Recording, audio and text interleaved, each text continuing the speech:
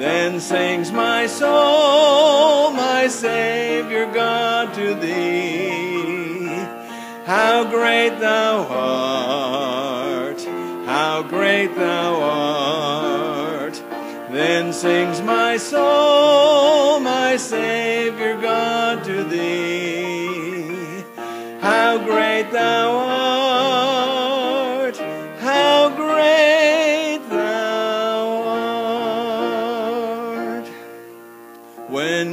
shall come with shout of acclamation and take me home, what joy shall fill my heart?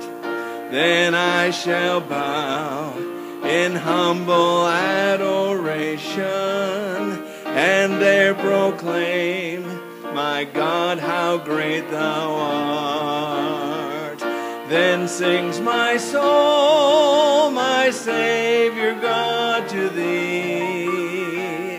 How great thou art, how great thou art. Then sings my soul, my Savior God, to thee. How great thou art,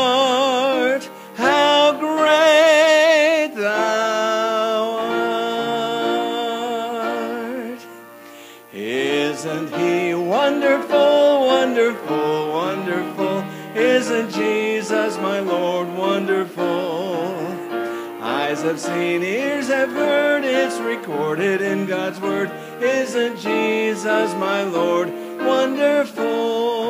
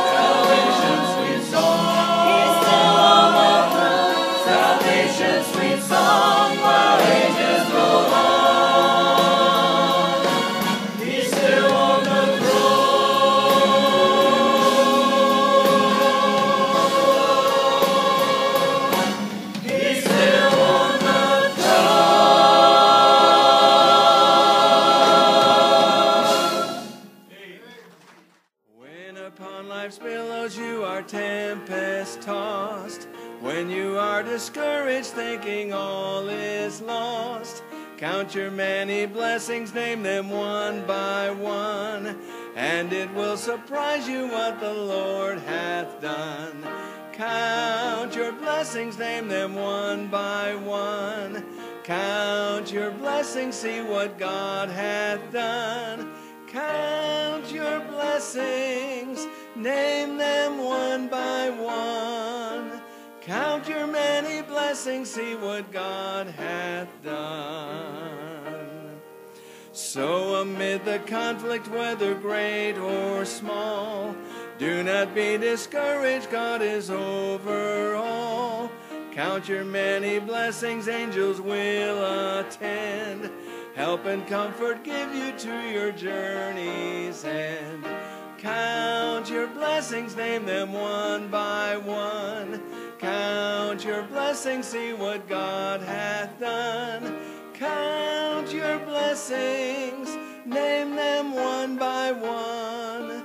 Count your many blessings, see what God hath done.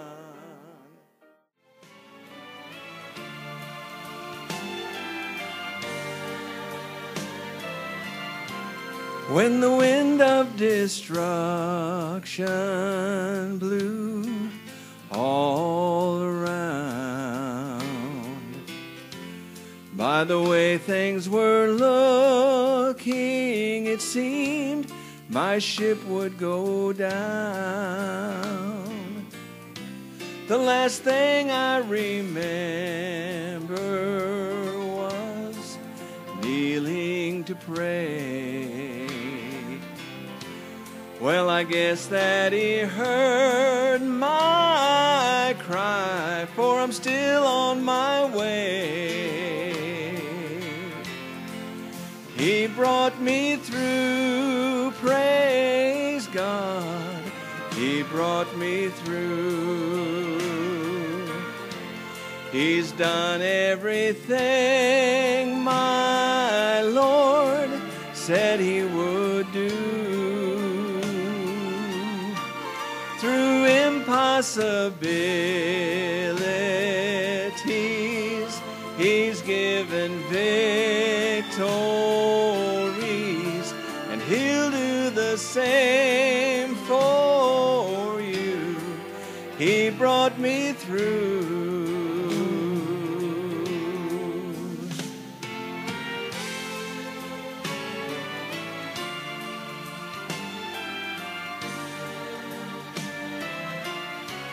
When feelings have given in to defeat,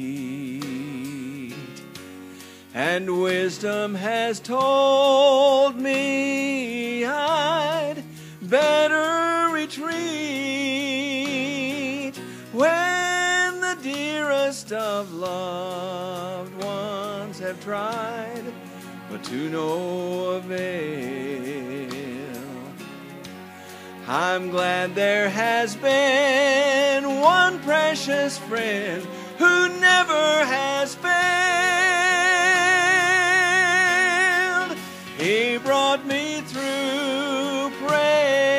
God. He brought me through. He's done everything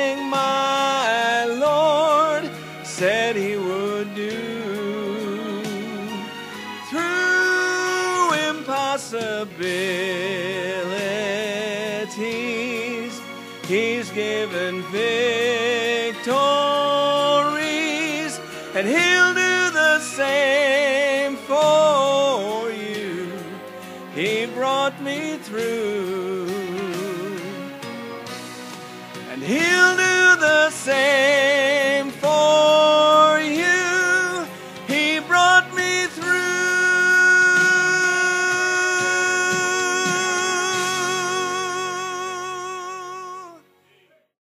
Looking over my message, I, I, I think it's going to be a two-parter. I think we'll have to finish the second part tonight.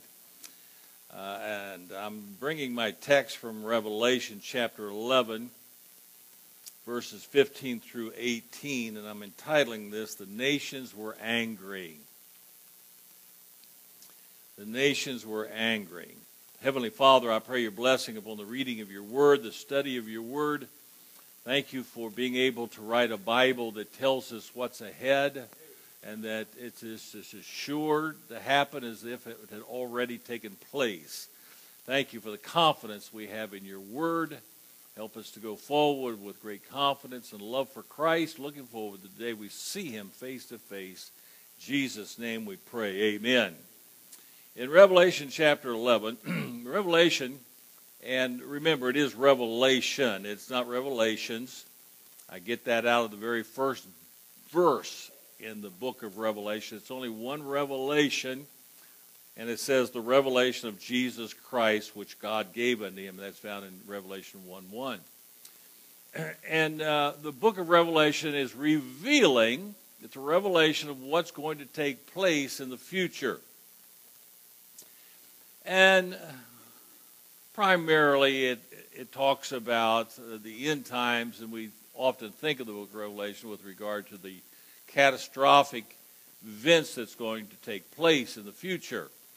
And we know that in those, in the, uh, from chapter 5 and 6 on, talks about seven seal judgments, seven trumpet judgments, seven vials or bowl judgments. Interesting, seven is a very important number. in God's calendar. We'll mention that more later. But it talks about the various judgments that's coming upon the earth. And we want to talk about those because we know this is a sure thing. This is going to happen regardless of what the, the new Green Deal says. The world's not going to end in 12 years, okay? God's already spoken. Cortez, I don't care what she has to say. Uh, she hadn't read, read her Bible, amen. So let's look at this. Revelation chapter 11, and my text will come out of Revelation chapter 11, verse 18, uh, 15 through 18. But let's look at verse 18 just very quickly. And the nations were angry, and thy wrath is come, and the time of the dead that they should be judged, and that thou shouldest give rewards unto thy servants the prophets and to the saints, and then that fear and them that fear thy name, small and great and shouldst destroy them which destroy the earth. Now, let me just make a passing comment about that last phrase. He's going to destroy them which destroy the earth. He's not talking, and boy, the green green people would love that, and they may have already used it, but it doesn't mean that, that you dig holes in the planet, okay? Doesn't mean that you've stomped on the dirt of the ground. It's not talking about the, the earth the ball of dirt at all. It's talking about corrupting the people of the earth, the planet, the people that make up the earth. How do we know that for sure? Because you compare Scripture with Scripture. Genesis chapter 6, verse 11, God speaks in Noah's day and he says, The earth was corrupt before him. Was the ball of dirt corrupt? No. The people were corrupt. And the earth was filled with violence. So God's going to destroy the people who have corrupted this planet, have corrupted other people. And there's multitudes out there in the corrupting business today. They're corrupting people constantly. They're, uh, boy, they're uh, messing with minds. The school systems involved in this uh, an agenda to change people's young people's thinking to think in a certain fashion. And God says, I'm going to deal with all of that. There's coming a point in time that I'm going to deal with all these issues. And I want to talk about that, if I might, this morning and tonight. Many people are curious about the future. Many times you watch the uh, History Channel or, or some of these channels on TV, and they'll talk about future events. And there are some notables that they will refer to. Nostradamus is one. He lived back in 1503 to 1566. He's a French astrologer, physician, a reputed seer, who is best known for his collection of 942 poetic quatrains. Allegedly, these quatrains predict future events. His book was first published in 1555 and has rarely been out of print since his death. And they often refer to his writings and they try to make his writings mean something which have a futuristic point to it. Another person that many of you remember was Jeane Dixon.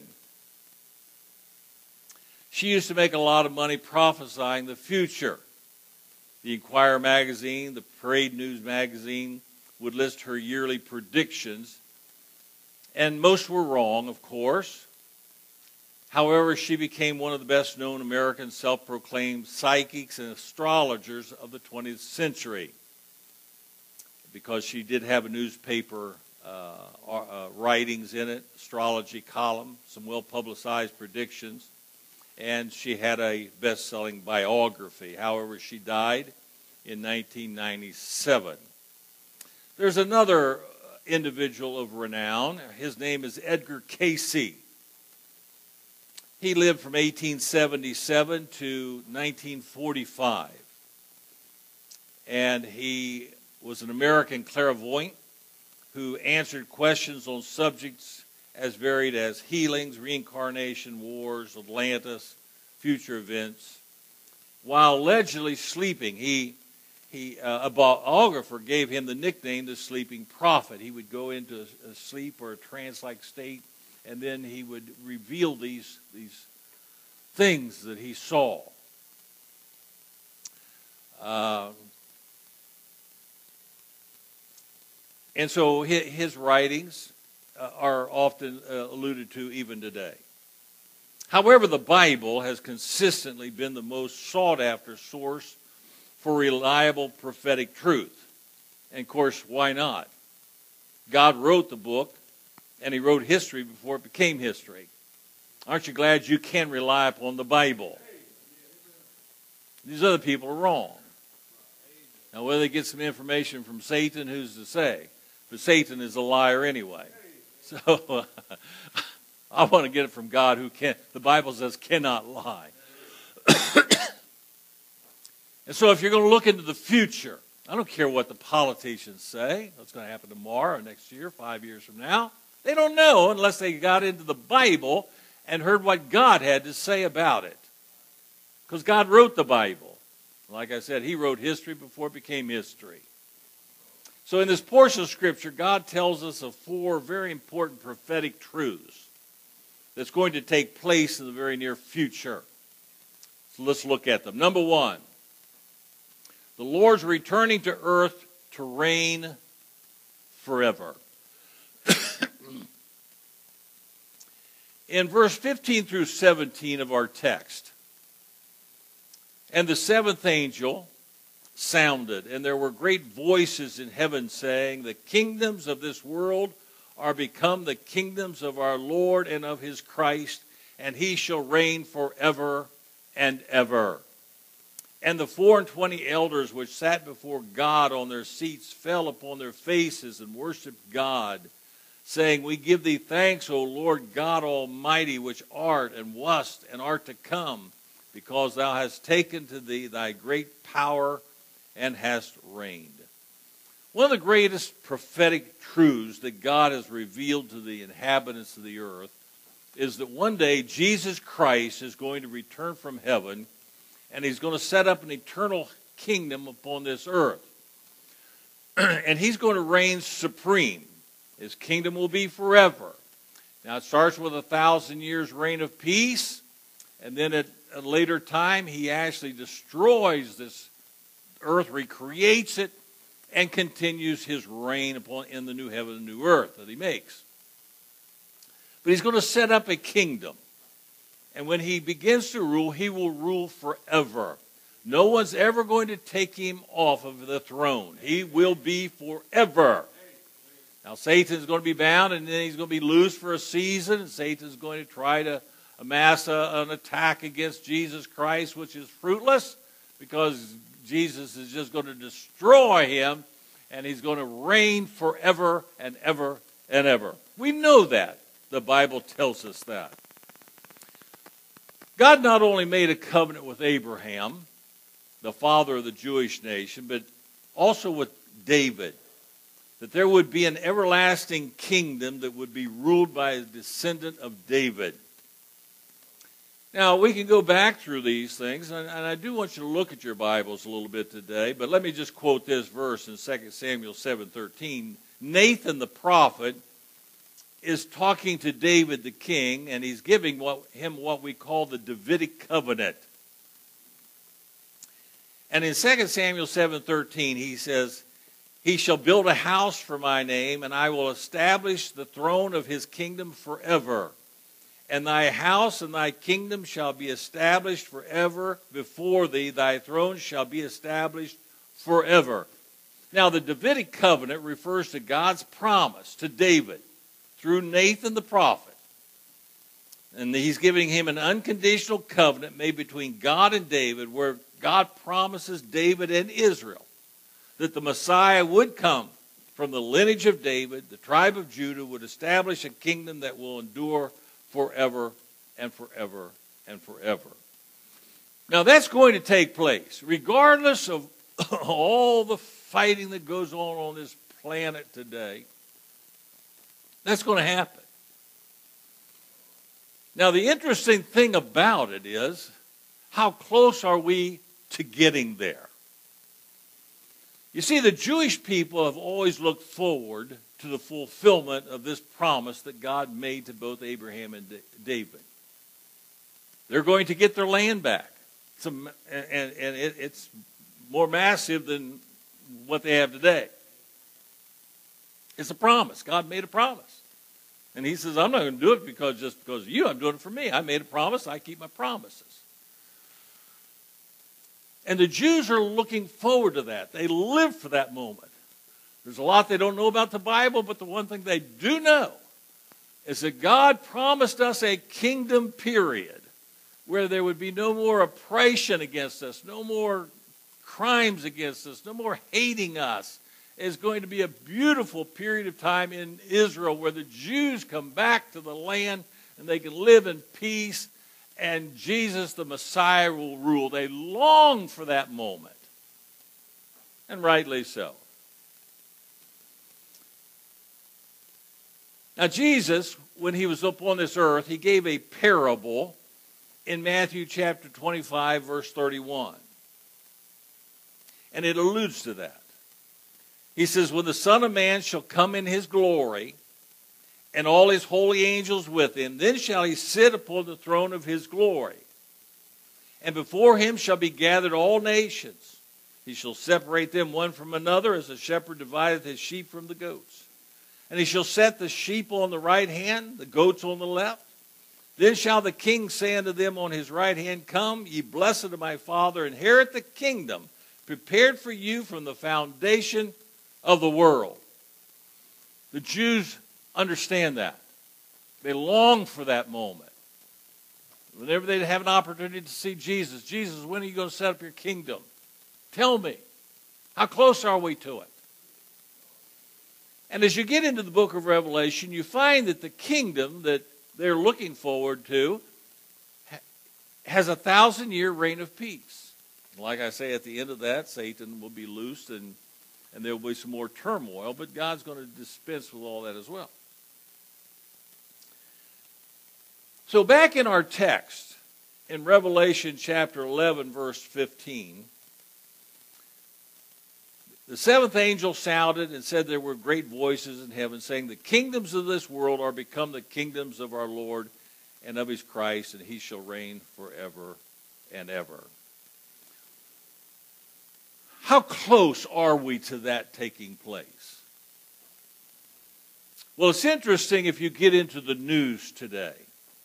The nation of Israel is currently, right now, as of today, looking for the coming Messiah to set up his kingdom and his throne in Jerusalem. Very recently, some prominent Jewish rabbis, Rabbi Berland and Rabbi Berdani, have stated that they believe the Messiah will appear this year, 2019. That's 5779 on the Hebrew calendar.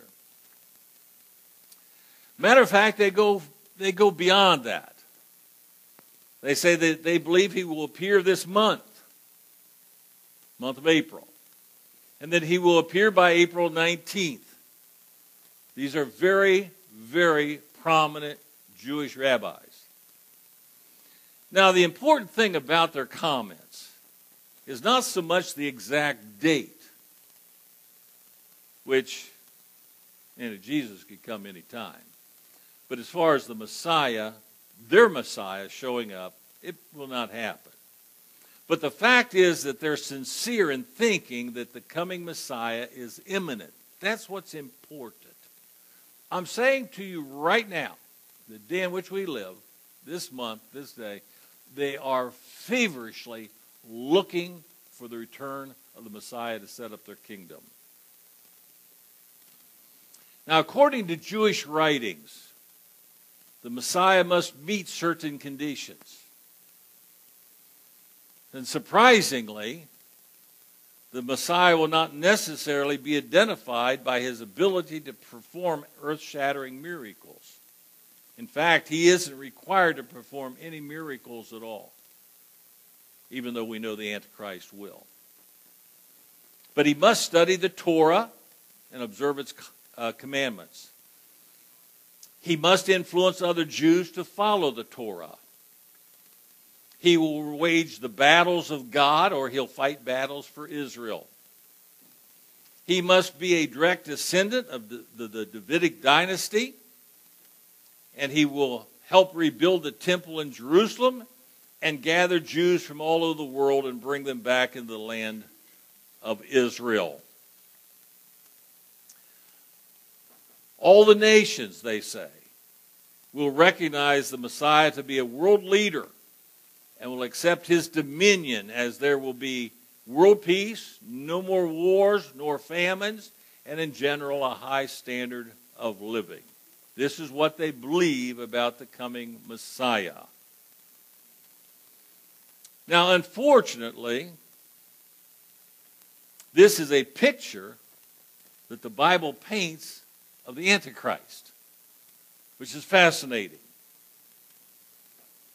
The Antichrist must come and appear before Jesus can set up his kingdom.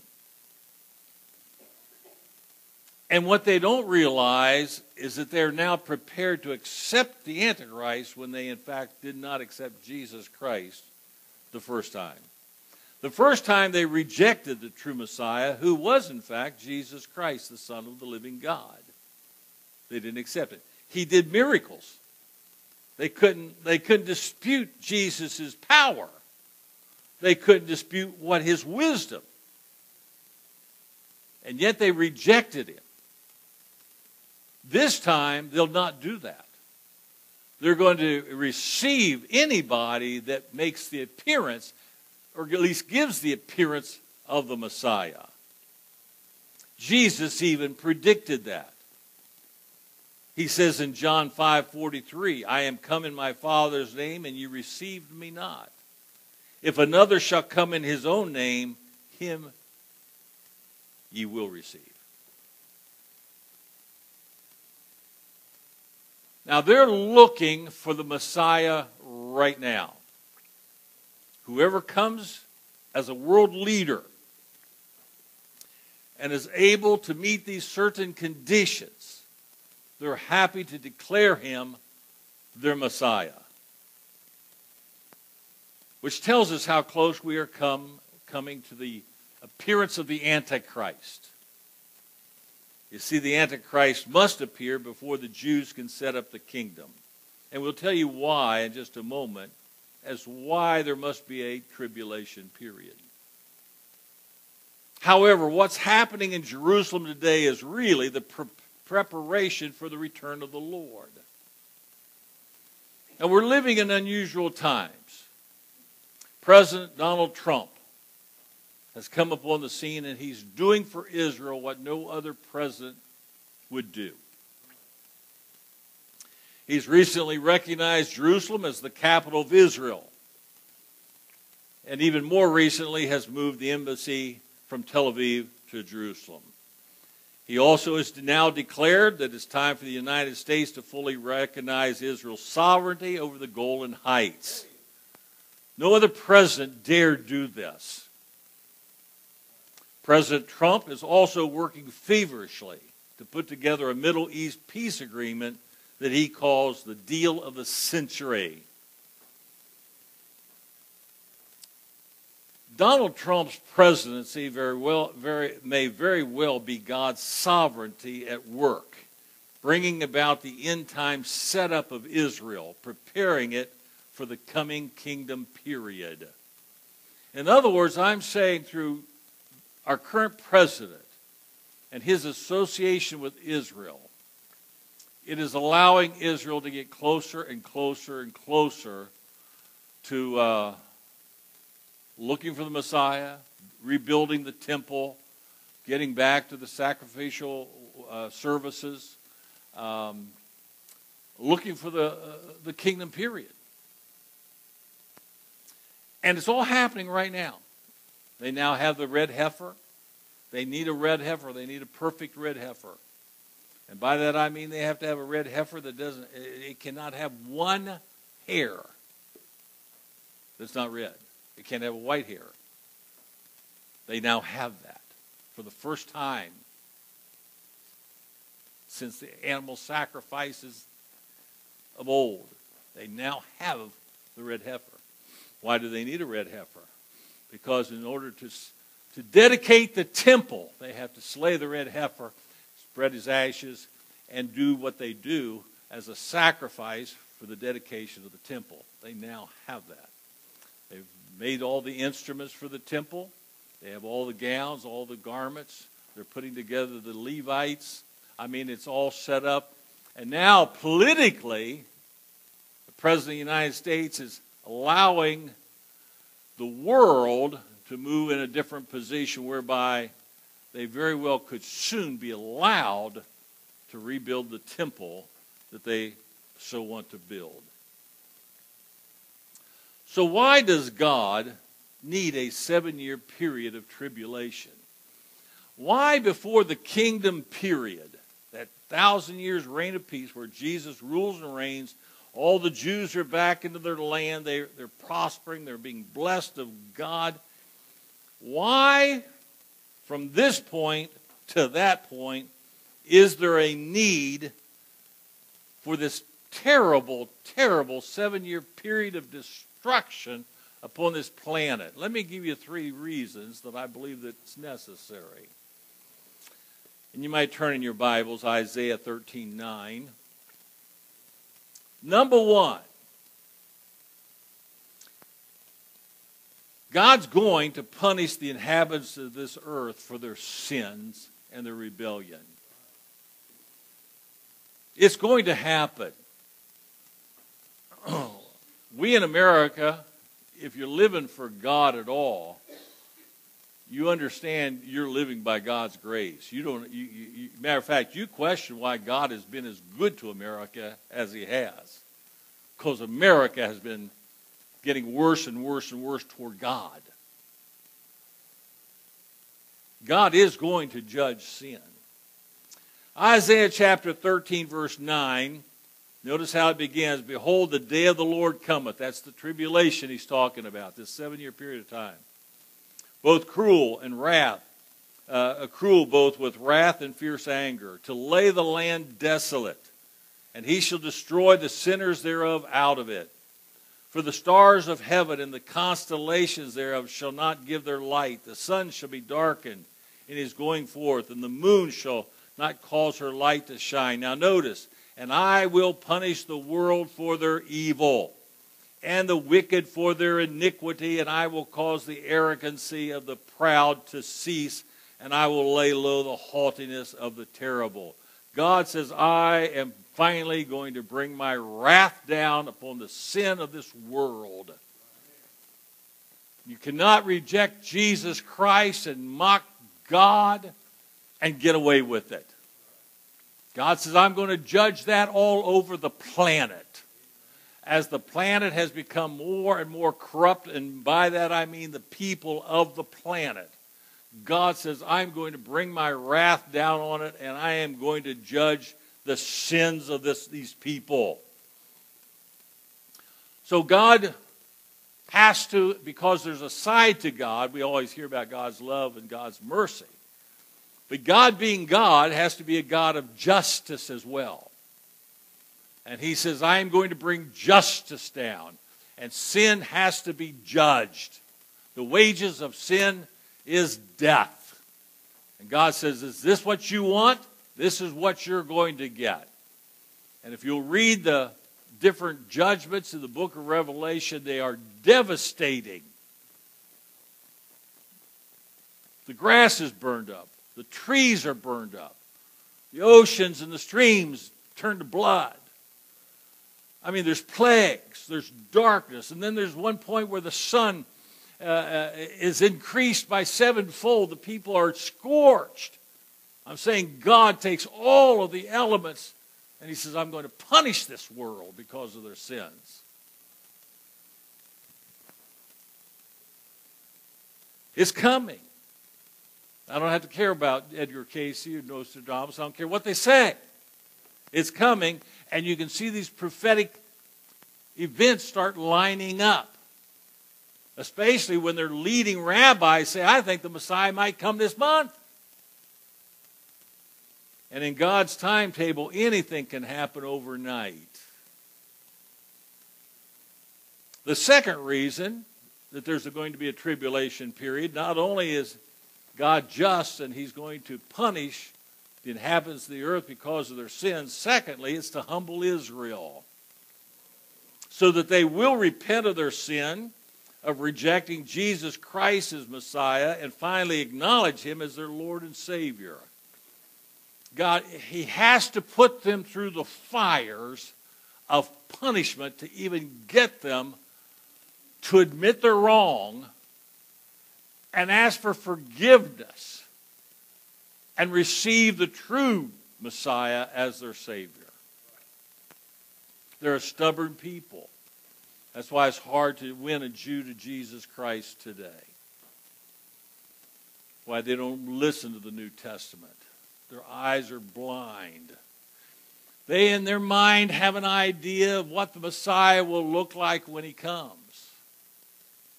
And Satan is going to give them a false Messiah, and they're going to fall for it. That's two mistakes. The third one will not be a mistake. They refused to accept Christ at the beginning. This time they're going to accept the wrong one. But the third time, when they see him coming in the sky. Well, let's look at the verse of Scripture. Zechariah in your, in your Bible, the Old Testament, at the end of the Old Testament, Zechariah chapter 12, verse 10. Here's what God says And I will pour upon the house of David and upon the inhabitants of Jerusalem. Now he's talking about the Jewish people.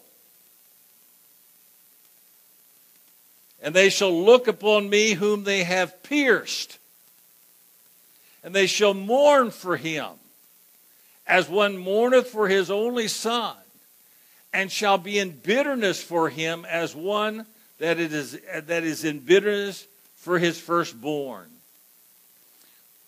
There'll be a day after such punishment. They think they're going to be totally annihilated during this tribulation period and the Antichrist and, and the, the, the Battle of Armageddon and all that goes on during this terrible time. And they're being killed and ravished. They're going to cry out as they did in back in Egypt, "Oh God, oh God, have mercy upon us." And all of a sudden Jesus is going to return to set up his kingdom. And they'll see him with his scars in his hands. And they will mourn because they realize the mistake they made. They crucified their Messiah and they will mourn and weep and repent of their mistake. But they will accept him as, they, as he comes and fights their battles for him. And they're going to win. And Jesus is going to set up that kingdom that he promised them thousands of years ago. And he says, This land's yours, and I'm going to rule. This is going to be, Jerusalem is going to be the religious the, the spiritual and governmental capital of the world. And Jesus is going to sit on the throne and he will rule and reign. The Jews will accept him as their Messiah. But in order to get them to get to that point, they have to go through such suffering to break their proud hearts. And it requires all of that pain to humble them pain humbles us today. It's unfortunate we become, can become so proud that God allows such pain to come into our lives to strip us from that pride and to humble us and say, Well, God, I'm so sorry. I need you. I can't help myself. God says, Now I'm, you're where I can do something with you.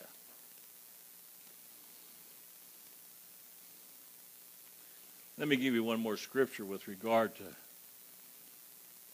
what God's going to do with Israel in Ezekiel, if you can find it, Ezekiel 36. God, once again, through the prophet Ezekiel, talks about the time when he comes back. What's he going to do with the Jewish people? In Ezekiel 36 22. Therefore, say unto the house of Israel, Thus saith the Lord God Ezekiel, here's what I want you to tell Israel. Ezekiel 36, 24. For I will take you from among the heathen and gather you out of all countries and will bring you into your own land. Verse 25. Then I will sprinkle clean water upon you, and ye shall be clean. And from your filthiness and from all your idols will I cleanse you. A new heart also will I give you, and a new spirit will I put within you. And I will take away the stony heart out of your flesh. I will give you a heart of flesh. And I will put my spirit within you and cause you to walk in my statutes, and ye shall keep my judgments and do them. And ye shall dwell in the land that I gave to your fathers, and ye shall be my people, and I will be your God. They want that. And God says that through all that suffering, you're now willing to accept Christ as your Savior. And you're humble enough now that God can cleanse you and forgive you as you cry and you mourn over your sins and ask for forgiveness. God says, I'll put a new heart in you. I will cleanse you. I will forgive you. I will be your God. You'll be my people. And you're going to see the conversion of the Jewish population. Going to be remarkable. But the tribulation is needed in order to accomplish that. And thirdly, it's simply to cleanse the world so that Jesus can, in fact, take possession and set up a kingdom of righteousness. He has to destroy the wicked out of it. He's going to get rid of all the wicked. Boy, if you're not saved, you better give your life to Christ. The wicked are going to be destroyed. The righteous are going to go into the kingdom period. Whether you're the redeemed or God's dealing with the Jews, however, only those that trust Christ and believe in Christ, and accept Him as the Messiah, are going to go into the into the, the kingdom period. It's because it's it's a it's a kingdom of righteousness. Now there'll be people in their earthly bodies, and we'll get more into that. The redeemed will have our incorruptible bodies. We'll serve and rule and reign with him. but the Lord, that's when it, remember that passage I read in Matthew where he comes again and we'll come back with him. And the inhabitants of this earth, he says, I, I separate them. I put my sheep on one side, I put the goats on the other. Words, those that trust me, those are on that side. Those that don't are on that side. The sheep, he says, come on in. He says, this has been prepared for you for the kingdom from the foundation of the world. The goats, you're gone. You're not a part of it. You're out. You're through. There's no begging. There's nothing you can do. It's it.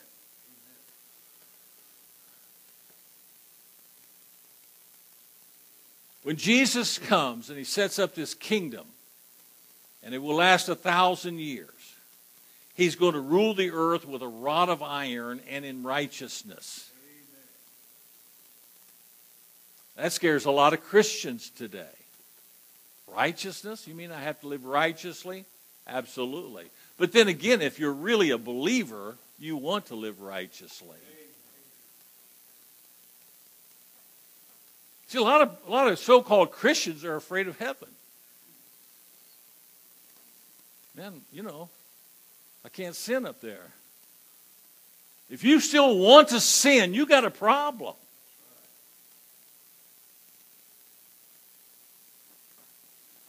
Revelation 19 15 says, And out of his mouth goeth forth a sharp sword, and with it he should smite the nations, and he will rule them with a rod of iron. He treadeth the winepress of the fiercest of the wrath of Almighty God. It will be a land of righteousness. Jesus setting up on the throne in Jerusalem. The Jews will be back into their land. It's all theirs. All the promises that God promised them from the very beginning will be theirs. What's wonderful about that period of time, if you want to look at the verses or write them down, it's going to be a time of peace. There'll be no more wars. Isaiah 2 4 talks about it. Isaiah was a great prophet. Ezekiel was a great prophet. Daniel was a great prophet. You got those three great prophets, and then some of the minor prophets added to it, but Isaiah talked often about it. Ezekiel, Daniel, of course, the book of Revelation. Isaiah 2 4 says, And he shall judge among the nations. He shall rebuke many people. They shall beat their swords into plowshares, their spears into pruning hooks. Nation shall not lift up sword against nation, neither shall they learn war anymore. God will not permit it. There's no more war. Why? Because he says, This is it. This is how it's done. In Isaiah 11 6, it says, The wolf also shall dwell with the lamb.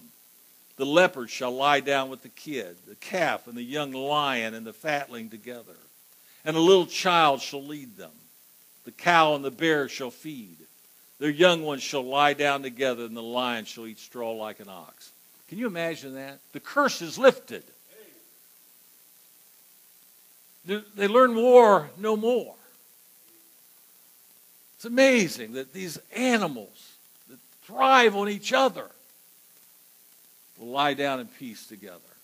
It's wonderful in Jesus Christ. That's why he's called the Prince of Peace. He is the origin of peace. Like I said, it will be the period of time is a thousand years. That's why we call it the millennium.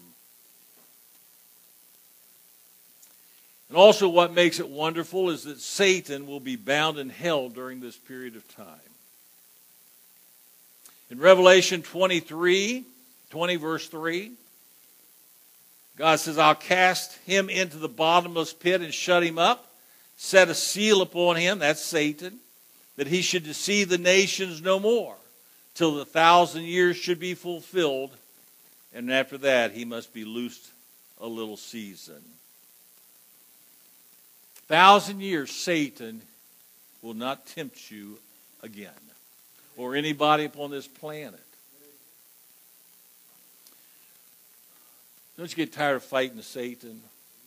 The Bible says he does one thing he seeks to steal, kill, and destroy. He hates you. He hates anything of God. If you're his children, he hates you. Hates the cause of God. He hates the Bible.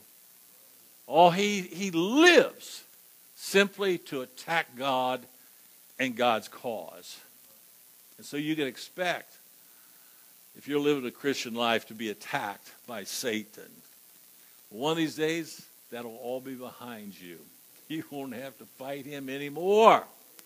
You see, I want you to know, and I want the world to know, that Satan is a loser. Why in the world would the occult thrive? Why would people look to Satanism and the occult and the New Agers and the psychics and the demonics why would they look to them for answers when, in fact, they're all funded, so to speak, by Satan, who is a loser? And he'll take you to hell with him. That's exactly what Satan wants to do.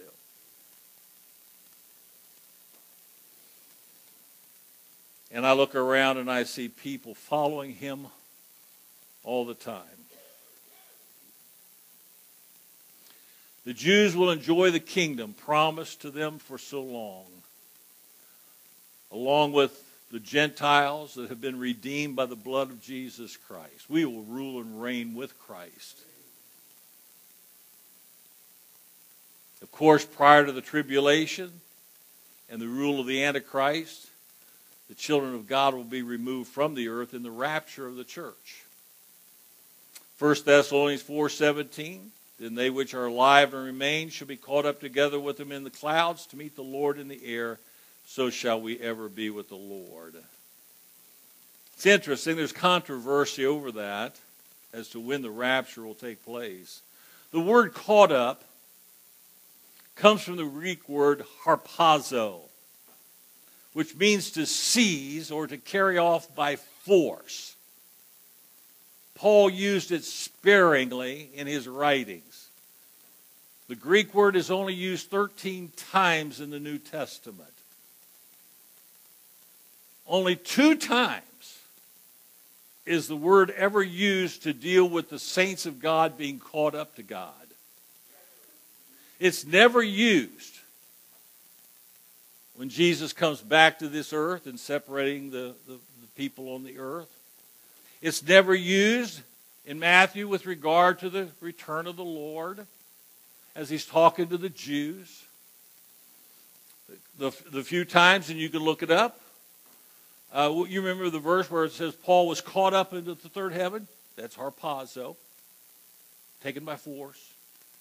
Recall where uh, Philip was uh, ministering to the Ethiopian eunuch and leading him to Christ?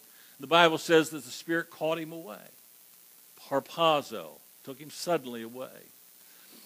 So it's used in people being removed from a situation very suddenly but never used with regard to being caught up to heaven except in a couple of verses. It's never used about Jesus coming back and, and taking the people at that time. Why? Because the Bible says that the rapture is a mystery. 1 Corinthians 15 51. I show you a mystery. We shall not all sleep, but we shall all be changed. We're going to be caught away, and people don't understand it. But the fact is, the Lord loves His bride, and He's going to take us home where we do not have to face this tribulation period or the Antichrist or the mark of the beast. I've known good pastors who say, well, we're training our people to be able to face the Antichrist and reject the mark of the beast. And how can you train somebody to reject the mark of the beast? That's saying you can do it within your own power. We stand by God's grace every day, and I want you to know that. And I've questioned these people often. Do you believe you can turn down the mark of the beast? Yeah, yeah. Really? You're that strong. Do you think 100% of Christians can say no to the Antichrist? Well, I don't know. Well, I have to. If you're a Christian, you can't take the mark of the beast. Or else God broke his promise in giving you everlasting life. You need to understand this doctrinally. A Christian who is saved is saved eternally. You cannot. It's not by your own power. You cannot, or you violate the very doctrine of the Bible. You bring into question God's word. How many Christians accepted the mark of the beast? Because once you accept that, you go to the lake of fire. And God promises never to lose one of his sheep. And he will not put you in that position. It's by his grace he's going to take care of you.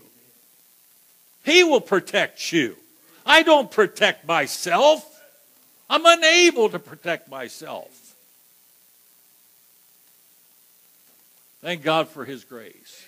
And that's why he says, I'm going to do it by force. will snatch you out of this old world.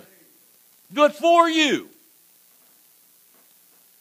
And then I'm going to, I'm going to, then the judgment's coming, and I'm going to purge this old world of its sin. They love their sin so much, then here's what you get. Here's your payday.